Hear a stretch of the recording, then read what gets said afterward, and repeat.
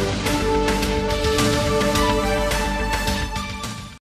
Al via questa mattina le attività di cura e pulizia del territorio nell'ambito della manifestazione promossa da Lega Ambiente Puliamo il Mondo. A Napoli il primo appuntamento è a Ponticelli con l'associazione Libera Campania per lo spazzamento e la piantumazione di lantane con i volontari e gli studenti del quartiere.